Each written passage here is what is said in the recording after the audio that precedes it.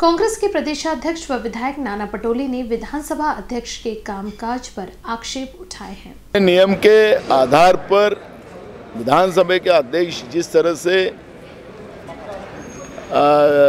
विपक्ष के विधायकों को न बोलने देना नए नए नियम बताना जो नियमावली में नहीं आते, और ऐसे सब इशू को लेकर कल विधानसभा में हमने विधानसभा अध्यक्ष के ऊपर अविश्वास लाया है। Thank you